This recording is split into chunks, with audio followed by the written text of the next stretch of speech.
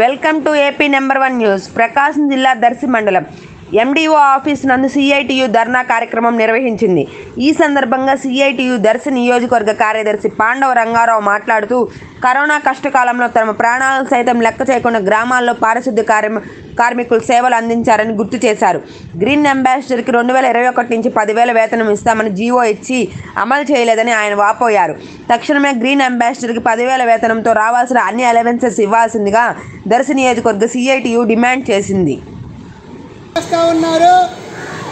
వారికి సమస్యలు పరిష్కరించాలని కోరుతూ దర్శి మండలం ఎండిఓ ఆఫీస్ వద్ద స్వచ్ఛ భారత్ కార్మికులు గ్రీన్ అంబార్డులు ధర్నా చేస్తున్నాము ఈ ధర్నాలో ప్రధానమైన డిమాండ్స్ ఏంటంటే గత సంవత్సరం రెండు వేల ఇరవై ఒకటి జనవరి నుంచి ప్రభుత్వం పదివేల రూపాయలు ఇస్తామని చెప్పి హామీ ఇచ్చింది జీవో ఇచ్చింది.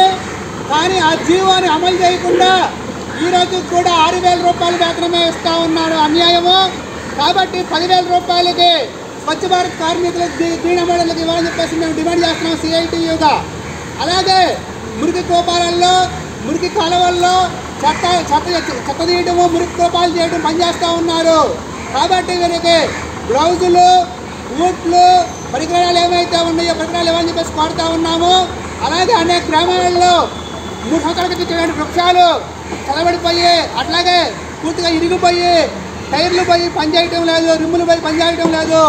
కాబట్టి వృక్షాలు కొన్ని కొత్త అయినా తెప్పించాలి లేకపోతే